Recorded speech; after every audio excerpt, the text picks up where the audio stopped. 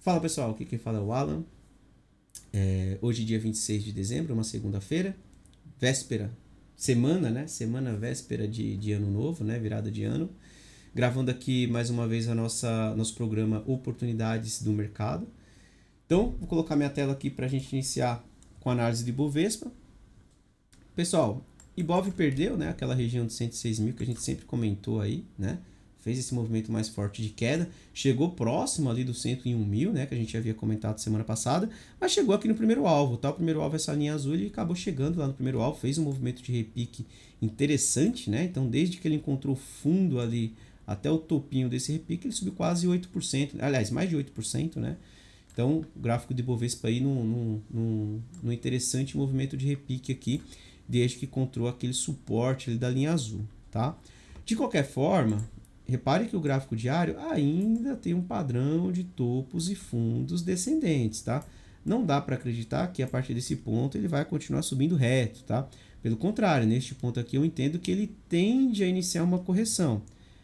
É uma correção para fazer novo fundo? Olha, a gente tem que acompanhar, né? Não dá para saber exatamente o que o mercado vai fazer. Mas neste ponto aqui já não, não vale a pena ali pensar muito na compra. Por quê?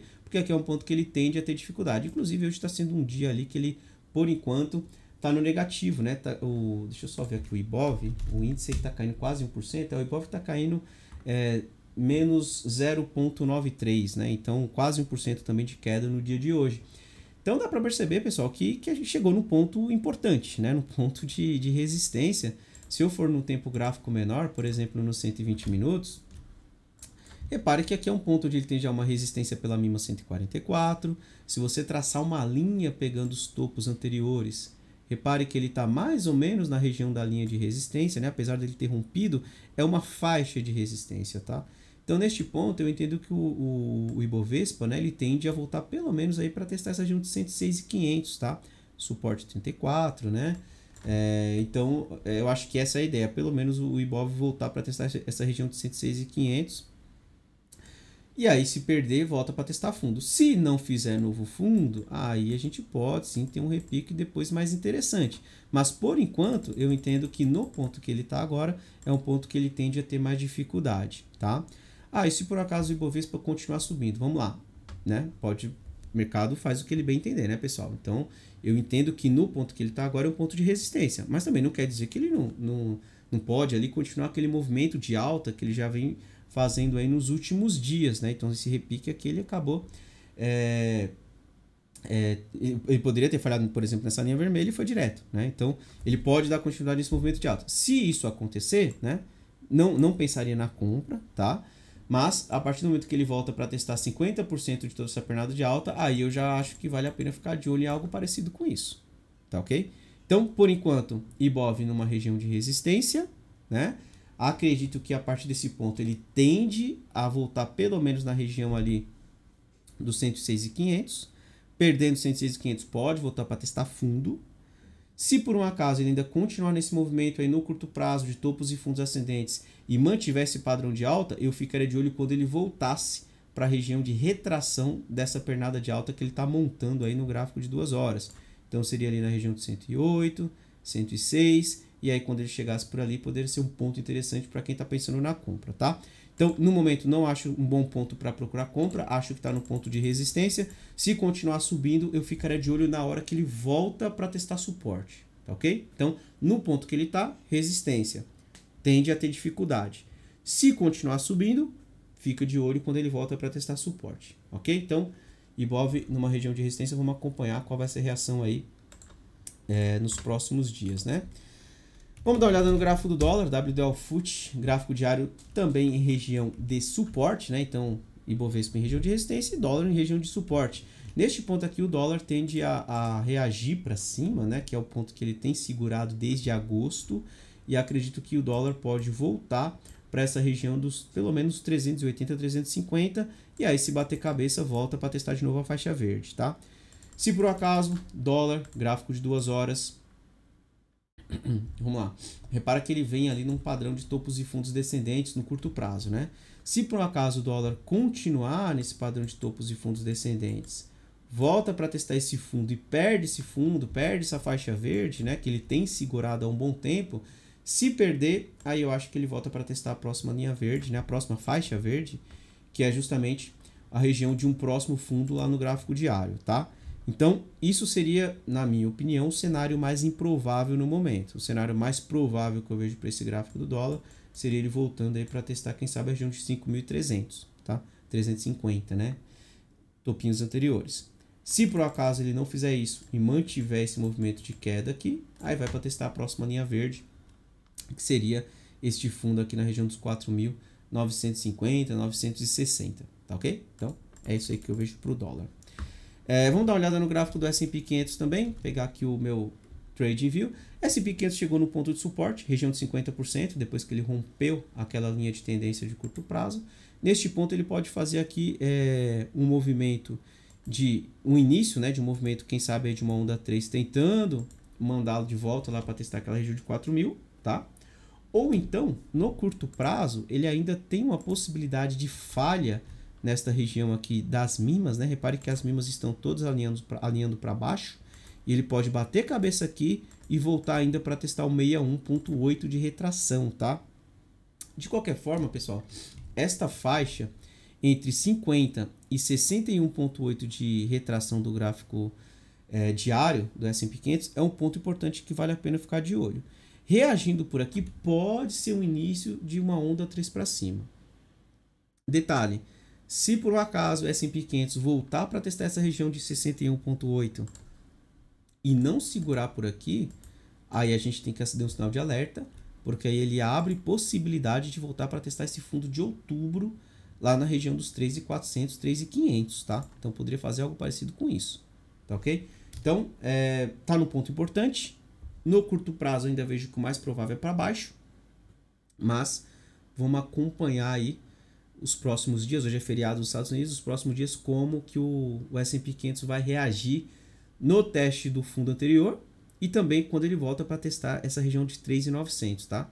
Se ele ficar abaixo de 3.900, acredito que ainda volte para testar essa região de 3.700, 61.8 de retração. Se ele fechar acima de 3.900, pode ser o início de uma onda 3 para cima, e aí os primeiros alvos aqui na região dos 4.100, né? Que são justamente os topos anteriores, e aí se romper abre alvo aqui na região dos 4,200, né? Tem esse topo aqui de agosto e depois tem esse topo aqui também de é, o topo de agosto 4.300, tá? 4.200 a 4.300, tá? Então, seriam os próximos pontos se o S&P 500 iniciar o movimento de alta. Caso contrário, volta para testar os 3.700 e aí a gente acompanha qual vai ser a reação lá, tá OK? Bitcoin, vamos dar uma olhada no Bitcoin. Bem, Bitcoin, ele deu uma bela de uma consolidada no curto prazo aqui, né? Já tem seis dias que ele está andando de lado, se vocês observarem aí os últimos seis candles do gráfico diário, não está fazendo muita coisa. E se por um acaso ele perder essa linha vermelha, vem para testar a próxima faixa verde aqui, tá? Fechar o, testar a região 16 mil. Então, por enquanto, Bitcoin entendo que o mais provável seja para baixo, tá? É, pode ter um repiquezinho ainda, né, pelo gráfico de 120 minutos, mas eu entendo que é um repique ainda para testar resistência. Inclusive, ele está numa resistência 7.2 aqui, com bastante dificuldade. Se por um acaso é, o Bitcoin aí não, não iniciar um movimento de queda agora para testar o 16 mil, ainda vejo uma possibilidade de testar a região de 17.300, tá? Por que 17.300? Seria 50% dessa última quedinha aí que ele fez no gráfico de duas horas. Então ele deu essa puxada forte para baixo, né? inclusive perdendo aquela linha de tendência. Ele segurou nos 38% aqui na primeira tentativa, mas não está perdendo fundo. Se por um acaso o Bitcoin iniciar um movimento aqui de repique, ainda vejo esses 17.300 como ponto de resistência. Falhando por aqui, eu entendo que o mais provável seria voltar para testar de novo aqui a região dos 16.500 e se perder ir lá para a região dos 16.000 o que seria a próxima faixa verde que eu comentei para vocês, tá ok? Beleza? E para finalizar, pessoal, vamos falar aqui das oportunidades, né, dos gráficos que eu achei ali em pontos interessantes e que na minha opinião vale a pena ficar de olho, tá? Na verdade, são os gráficos que eu já vi comentando aí nas duas últimas semanas.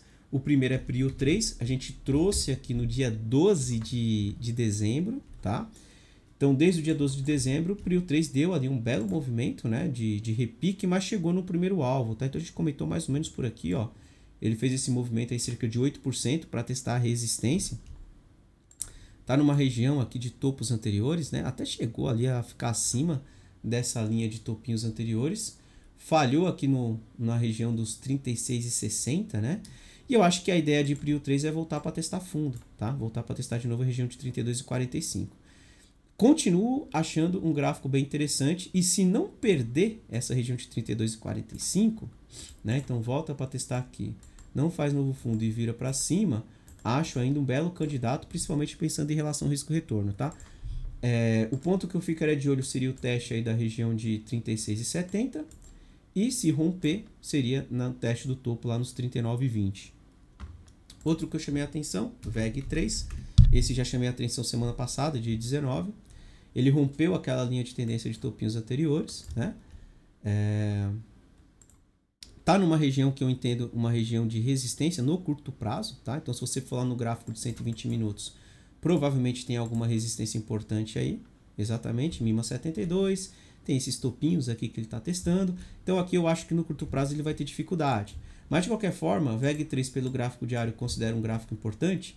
Se ele voltar para testar novamente aqui essa região de fundo anterior, 35,60, segura por aqui e vira para cima, considero um belo candidato. Primeiro alvo, teste aqui do topo nos 39,40 e rompendo, abre alvo no teste do topo ali na região de 42,30, tá? Então fique de olho em VEG quando ele volta para testar esse fundo. Outra que eu chamei a atenção semana passada também que acho interessante, Petro Recôncavo, gráfico diário. Chamamos a atenção no dia 19, certo? Então foi mais ou menos por aqui. Ele estava testando esse, esse fundinho anterior, né? Tinha uma, acho que tinha uma linha vermelha, deixa eu ver. É, a linha vermelha está um pouco mais abaixo. É, mas é, tinha uma, uma região importante ali de suporte, né? Suporte 144 e reagiu, né? E reagiu bem, né, pessoal? Chegou a subir cerca de 10% aí da, do teste do fundo até chegar nesta região de topinho anterior, tá? Ele chegou no topo anterior. É, então, se você for no tempo gráfico de duas horas, você consegue perceber aqui que ele está testando justamente essa faixa, tá? Neste ponto, eu acho que tem que tomar um pouco mais de cuidado, porque ele tende a ter um pouco mais de dificuldade. Não faria uma compra exatamente aqui, tá? A não sei que você já esteja entrado na compra. Para quem comprou, excelente. Eu acho que entrou bem na operação. Ainda entendo que ele pode falhar por aqui voltar para testar mais uma vez essa região de suporte. E se não fizer novo fundo, é, considera um bom ponto por conta da relação risco-retorno. E aí vamos ver se ele consegue romper esta faixa de topos anteriores né, na próxima tentativa. E aí rompendo aqui, abre uma possibilidade de testar de novo aquela região dos 37 e 20 mais ou menos, o topo anterior. Se por um acaso o Petro Recôncavo já for direto, né? Então, supondo que ele já venha rompendo aí essa região da, do topinho anterior, eu ficaria de olho no, no na volta dela para a região de retração de 50% dessa última puxada. Se ele voltar para 30,74, para a região dos 30 e segura por aqui, deixando um, um pivôzinho ali, né? Acho que valeria novamente uma tentativa.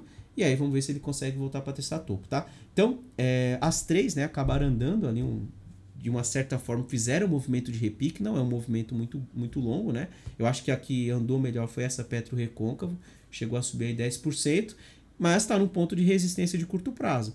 Vamos acompanhar para ver se ela rompe, tá?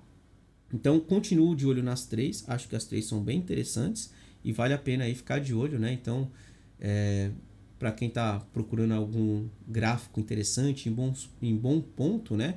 Eu acho que Prio 3, VEG e Petro Recôncavo são as que eu olho que eu acho mais interessante aí é, no momento atual aí do, do mercado, tá? único detalhe, conforme a gente fez no início do, do, da gravação aqui, Ibovespa está no ponto de resistência, né? Então só chamar atenção com relação a isso, porque se o Ibovespa resolver ali ter um movimento de correção, pode ser que isso de certa forma influencie aí os três candidatos que eu chamei a atenção ali para vocês, tá? Outro gráfico que eu estou de olho, mas que eu acho que ainda não está num ponto tão interessante, é GGBR4, tá, pessoal? Então, GGBR4 é uma das que eu acho bem interessante. Ela deu uma puxada forte ali de alta, né? Depois daquela questão ali da reabertura na China, né? Que eles vão dar uma, vão afrouxar a questão ali da política de Covid zero. Então o mercado deu uma bela uma puxada ali para cima, mas é, encontrou uma resistência, né? Eu acho que natural, não ia subir em linha reta para sempre, eu acho que é natural ele ter uma correção, tá? E o que, que eu estou de olho aqui? A partir do momento que VEG volta para a região de 50%, 61,8% desta pernada forte de alta que ela fez, eu acho que vale a pena ficar de olho, tá, pessoal? Então, se eu pegar aqui o gráfico diário dela, voltando aí próximo dos 27, né? Quem sabe aí 25,80, se ele dá uma encorpada nesse movimento de correção, nessa região de suporte, começando a segurar por aqui, formando o pivôzinho, pode ser um candidato interessante. Vai fazer novo topo? Vai testar topo? Não tem como a gente saber, tá? Mas segurando por aqui, eu acho que vale a pena ficar de olho. Pode ser uma tentativa ali num ponto de, de retração importante, ponto de suporte importante. E aí, qual seria o meu primeiro alvo? Meu primeiro alvo seria a retração de 50% a 61,8% dessa pernada de queda. Então, ele pode voltar para cá, ok? Para quem conseguir pegar num bom ponto conseguir pegar esse movimento de repique, pode ser um ponto ali para se pensar em fazer um, uma parcial, né, para proteger a operação. Voltou para testar fundo, porque assim, eu entendo que ali ele tem grande chance de bater cabeça, tá? Voltou para testar fundo, não fez novo fundo, aí fica até interessante para ir realmente testar lá novamente a região de 32 e 46, tá? Então, GGBR é um dos candidatos que eu também acho interessante, mas ainda vem um movimento aí mais forte de queda no, no curto prazo, né? Então só tem que tomar cuidado para não tentar adivinhar fundo, tá? Tentar pegar a faca caindo. Eu acho que o bom ponto aí para a gente ficar de olho é justamente entre essa região de 26,87 a 25,80, porque região de linha verde, região de 50% de retração. Segurando por ali, começando a formar uma base no tempo gráfico menor, não fazendo novos fundos, ganhando suportes é, nos tempos gráficos menores, né? É, pode ser um movimento de repique e aí, pegando esse repique, chegando nas resistências, dá para pensar em fazer algum ajuste de stop, fazer uma parcial para proteger a operação. E aí a gente acompanha, caso ele venha falhar na região de, de 50% aqui, né? A gente acompanha novamente o teste do fundo, tá? De qualquer forma, esta região aqui considero uma região importante para se ficar de olho em GGBR4. Tá ok, pessoal? Então é isso daí. Vou encerrando por aqui. Vamos acompanhar como que o mercado vai desenrolar durante a semana. Semana um pouco mais parada, tá? Um pouco mais de cautela ali nas operações, né? Mas vale a pena ficar de olho nos candidatos que eu chamei a atenção, porque são, são gráficos que estão em pontos importantes e se houver uma reação, é, tem uma relação risco-retorno bem favorável no ponto que eles é, se encontram agora, tá ok? Então, vou encerrando por aqui. Desejo aí para todo mundo, como a gente só vai gravar a próxima oportunidade de mercado na semana, na, na primeira segunda-feira de janeiro, né? Deixa eu só ver aqui, só confirmar aqui, mas eu acho que é isso mesmo, é dia 2 de janeiro. Então já desejei para todo mundo um bom final de ano, né? Então um excelente final de ano, espero que curtam bem aí com a família. É, espero que em 2023, né, desejei para todo mundo 2023 cheio de realizações, né, que esse mercado aí seja bem melhor em 2023, né, que a gente consiga ali ter um mercado mais fácil de operar, que a gente consiga pegar boas oportunidades é, e que seja um ano aí cheio de realizações para todo mundo, tá? Então, esse é o desejo aí que eu tenho para todos, né? Vamos acompanhar como que o mercado vai reagir durante a semana e semana que vem, segunda-feira, a gente grava aí novamente a nossa oportunidade de mercado e ver o que, que tem de interessante aí no radar, tá ok, pessoal? Então, é isso daí. Boa semana a todos. Tchau, tchau.